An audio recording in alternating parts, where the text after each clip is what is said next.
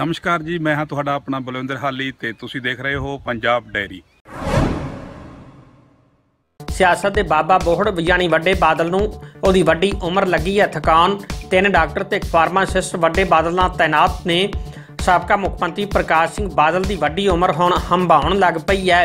ਡਾਕਟਰੀ ਟੀਮ ਨੇ ਸ਼੍ਰੀ ਬਾਦਲ ਨੂੰ ਗਰਮੀ 'ਚ ਬਾਹਰ ਘੱਟ ਨਿਕਲਣ ਦਾ ਮਸ਼ਵਰਾ ਦਿੱਤਾ ਹੈ। ਭਾਵੇਂ ਉਹਨਾਂ ਕਦੇ ਉਮਰ ਤੋਂ ਹਾਰ ਨਹੀਂ ਮੰਨੀ, ਪਰ ਉਹਨੂੰ ਜ਼ਿੰਦਗੀ ਦਾ ਦਸਵਾਂ ਦਹਾਕਾ ਹੰਡਾਰੇ ਮੁੱਖ ਮੰਤਰੀ ਸਾਬਕਾ ਮੁੱਖ ਮੰਤਰੀ ਨੂੰ ਉਮਰ ਹੰਭਾਉਣ ਲੱਗੀ ਹੈ। ਪਹਿਲਾਂ ਪਹਿਲ ਬਾਦਲ ਆਪਣੇ ਆਪ ਨੂੰ ਲੰਬੀ ਤਾਕੀ ਸੀਮਿਤ ਕਰ ਲਿਆ ਸੀ ਤੇ ਰੋਜ਼ਾਨਾ ਲਾਗਲੇ ਪਿੰਡਾਂ 'ਚ ਲੋਕਾਂ ਦਾ ਦੁੱਖ ਸੁੱਖ ਵੰਡਾਉਂਦੇ ਸਨ, ਪਰ ਹੁਣ ਉਹਨਾਂ 12 ਜੂਨ ਤੋਂ ਪਿੰਡਾਂ 'ਚ ਜਾਣਾ ਬੰਦ ਕਰ ਦਿੱਤਾ ਹੈ। ਸਿਆਸੀ ਸਰਗਰਮੀਆਂ ਕਢਾ ਦਿੱਤੀਆਂ ਹੈ। ਜਾਣਕਾਰ ਸੂਤਰਾਂ ਮੁਤਾਬਕ ਕਰੀਬ 2 ਦਿਨਾਂ ਤੋਂ ਬਾਦਲ ਬਾਲਾਸਰ ਫਾਰਮ 'ਚ ਆਰਾਮ ਕਰ ਰਹੇ ਨੇ।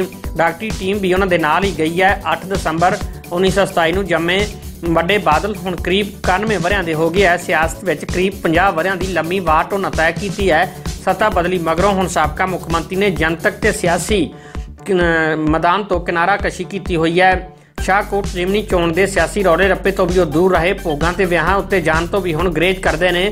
ਜਦਕਿ ਆਪਣੀ ਚਾਚੀ ਦੇ ਭੋਗ ਸਮਾਗਮਾਂ 'ਚ ਉਹਨਾਂ ਜ਼ਰੂਰ ਸ਼ਿਰਕਤ ਕੀਤੀ ਸੀ। ਇਸ ਤੋਂ ਇਲਾਵਾ ਮਹੀਨੇ 'ਚੋਂ ਦੋ ਦਿਨ ਚੰਡੀਗੜ੍ਹ ਵੀ ਜਾਂਦੇ ਸਨ। ਪਰ ਉਹਨਾਂ ਰਾਜਧਾਨੀ ਦਾ ਗੇੜਾ ਵੀ ਨਹੀਂ ਲਾਇਆ। ਸੂਤਰਾਂ ਅਨੁਸਾਰ ਸਾਬਕਾ ਮੁੱਖ ਮੰਤਰੀ ਬਹੁਤਾ ਸਮਾਂ ਪਿੰਡ ਬਾਦਲ 'ਚ ਆਪਣੀ ਤੇ ਗੁਜ਼ਾਰਦੇ ਨੇ। ਪਿਛਲੇ ਦਿਨੀ ਉਹਨਾਂ ਨੂੰ ਆਈ ਫਲੂ ਦੀ ਸਮੱਸਿਆ ਆਈ ਸੀ। ਕੈਪਟਨ ਸਰਕਾਰ ਵੱਲੋਂ ਸਾਬਕਾ ਮੁੱਖ ਮੰਤਰੀ ਨਾਲ ਤਿੰਨ ਡਾਕਟਰਾਂ ਤੇ ਇੱਕ ਫਾਰਮਾਸਿਸਟ ਦੀ ਟੀਮ ਪੱਕੇ ਤੌਰ ਤੇ ਤਾਇਨਾਤ ਕੀਤੀ ਗਈ ਹੈ।